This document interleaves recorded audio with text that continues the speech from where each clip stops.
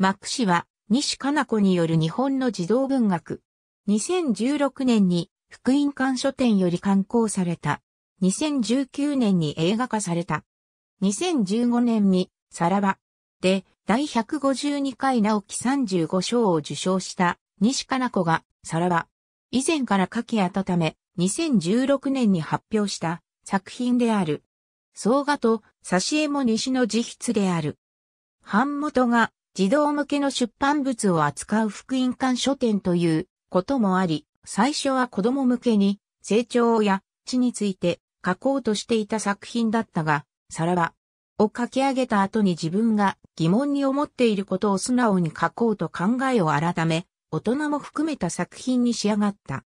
みんなが顔見知りの小さな温泉街に住む小学5年生の絵は大人になりたくないという気持ちを抱えながら最近自分の体の変化を感じていた。絵はある時美人な転校生の小杖と出会う。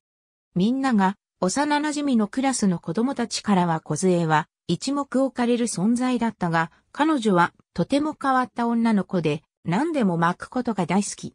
小銭や砂利、ホースの水、何でも巻き散らした。絵は大人っぽい小杖を意識し、最初は距離を置いていたが、そんな彼女に徐々に惹かれていき、会話をするようになる。そしてある時彼女は絵にとても不思議な秘密を打ち明ける。そこから絵は少しずつ大人に近づいていくのだった。2019年公開。